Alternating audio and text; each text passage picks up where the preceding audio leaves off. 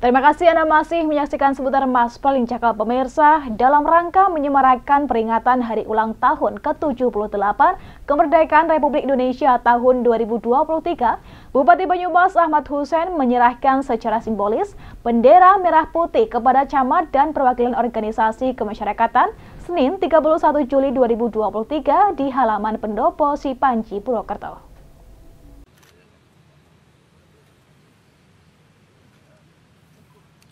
Gerakan pembagian bendera merah putih merupakan upaya pemerintah untuk meningkatkan rasa nasionalisme warga negara Republik Indonesia dan cinta kepada tanah air. Pemerintah Kabupaten Banyumas melalui Badan Kesatuan Bangsa dan Politik telah mengumpulkan sedikitnya 1.409 bendera merah putih yang akan didistribusikan untuk warga di kecamatan perbatasan. Kegiatan tersebut merupakan tindak lanjut gerakan 10 juta bendera merah putih yang merupakan gerakan dari pemerintah pusat dalam membagikan bendera kepada masyarakat luas di seluruh wilayah Indonesia.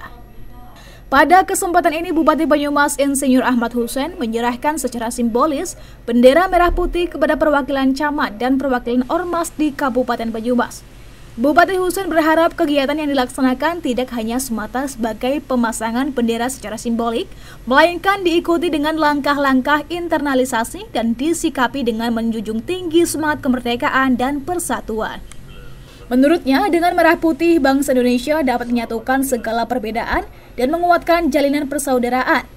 Ia juga meminta kepada aparatur sipil negara atau ASN untuk tidak hanya memaknai bendera merah putih sebagai simbol saja, melainkan harus mengerti makna dan filosofi di dalamnya.